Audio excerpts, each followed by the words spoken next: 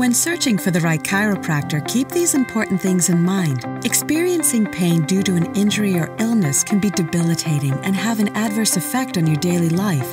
The right chiropractor can evaluate your pain levels and diagnose the condition that is causing you discomfort. The following are three vital tips to help you find a chiropractor that is right for you. 1. The chiropractor should fully explain the examination process before beginning treatment. During the initial consultation, they should also ask you questions about your injury and your medical history.